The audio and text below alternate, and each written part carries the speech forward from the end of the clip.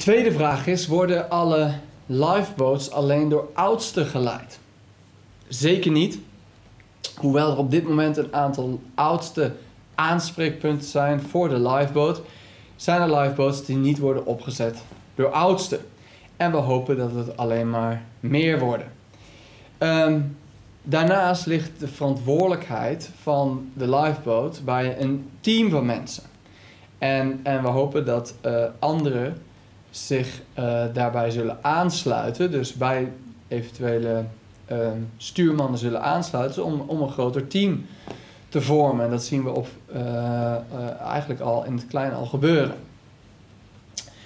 Um, maar dat de oudste op dit moment um, aanspreekpunten zijn voor bijna alle lifeboats heeft ermee te maken dat we onze verantwoordelijkheid willen pakken.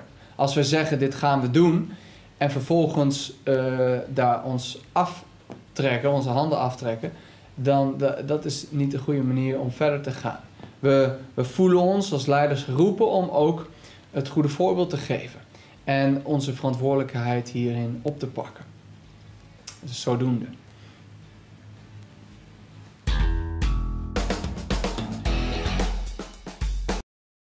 Volgende vraag is: welke lifeboats um, ontstaan er? En dit is een, een moeilijk proces. Waar, waar begin je zoiets en hoe ziet het eruit? Um, voor zover um, we het nu zien, krijgen de volgende boten vorm. Dat is in de Schadewijk ontstaat er een boot en daarvoor is, het, is er al een behoorlijk team. Dan in Hees um, willen Bruno en Magda iets gaan starten. Dan is er, als het goed is, komt er een boot voor de tieners. En daarvan zijn de trekkers op dit moment Michael en Thomas. Um, dan wordt er gekeken naar of er een lifeboat kan ontstaan voor um, jonge gezinnen. Of gezinnen met jonge kinderen. En daarvoor is Annette nu in ieder geval de eerste trekker. En er is er nog eentje, die heeft nog geen naam, maar daarvoor is Jacques de trekker. Sommige boten zijn al iets verder in de ontwikkeling. Andere zoeken nog actief naar stuurlui. En meld je alsjeblieft aan bij een van deze mensen voor een gesprek of voor verdere informatie. Want op die manier kan je al vroeg meedenken in het, in het proces dat gaat plaatsvinden. Als jij een idee hebt van um, hoe je een lifeboat zou kunnen vormgeven, of je, of je wil uh, graag uh, vanaf het begin meedenken, dan is het goed om een van deze mensen in ieder geval te benaderen en te zeggen van ik wil graag um, betrokken zijn, hoe, hoe kan dat eruit zien? En um, uh, dus daarin kan je een actieve rol nemen. En er zijn mensen die uh, nu al denken dat ze buiten de boot gaan vallen. Alsjeblieft, bespreek dit. Het gaat binnen deze verandering om maatwerk. Er zijn mensen met wensen, en, en we willen mensen zoveel mogelijk betrekken, maar daarin is ook iets van jou gevraagd. Als je wensen, bezwaren, beperkingen ziet, eh, dan is het belangrijk dat je die kenbaar maakt, zodat we met je kunnen meedenken. Niet alles is mogelijk, maar er is wel veel mogelijk. En, en maar, zolang we dat niet weten, kunnen we daar ook geen rekening mee houden. Um, zo zijn er uh, verschillende lifeboats die er waarschijnlijk nu nog niet zijn, maar wel zouden kunnen ontstaan zouden bijvoorbeeld denken aan een, aan een online lifeboat. Of um, uh, nou ja, allemaal van, van, van dat soort dingen. Maar als je het niet meldt, kunnen we daar niet mee, uh, kunnen, ja, kunnen we niet samen denken over hoe dat eruit zou kunnen zien. Dus alsjeblieft, meld je. en het liefst bij een van deze mensen die al zo'n boot voor ogen heeft, zodat die schouders er samen onder kunnen zetten.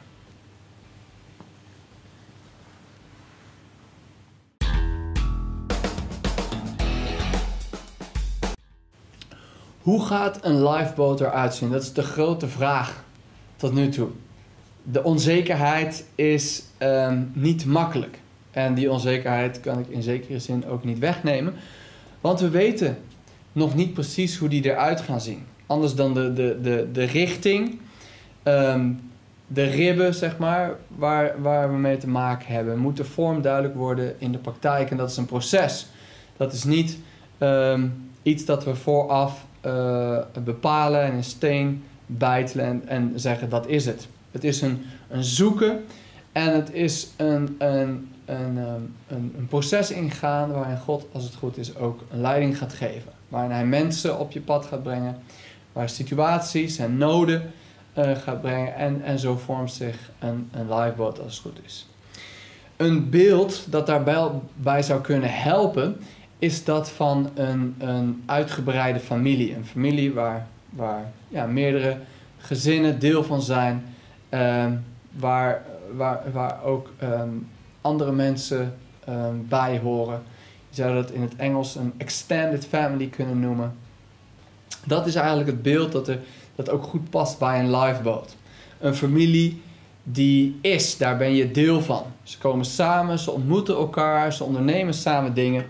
En um, daar zit natuurlijk wel wat organisatie in, maar er gebeurt, er gebeurt ook gewoon um, van alles. Er gebeurt veel organisch. Um, een lifeboat is dus, dus niet echt een activiteit of een programma, maar een plek om familie te zijn en vervolgens als familie dingen te ondernemen. En net als bij een familie kan je dan beslissen of je daar wel of niet aan deelneemt, aan waar je dan precies wel en niet aan deelneemt. Maar als het goed is, um, ben je daar gewoon deel van. En het mooie is dat je ook als familie, dat je niet per se dingen in je eentje hoeft te ondernemen, maar dat je dat als familie kan doen.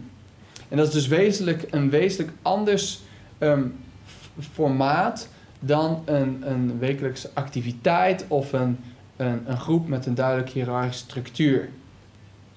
En, en dan zal je ook zien, net zoals families verschillen, dat de ene lifeboat totaal anders is dan de andere, afhankelijk van de, de, mensen die daarin uh, in deelnemen. Dus dat is een, een, een beeld dat goed past bij een lifeboat, maar dat nog niet gelijk, tegelijkertijd niet heel concreet maakt wat het dan precies is, maar dat is iets dat zich in de praktijk zal moeten vormen. Maar ik hoop dat het beeldje een beetje helpt bij uh, uh, je verdere beeldvorming van een lifeboat.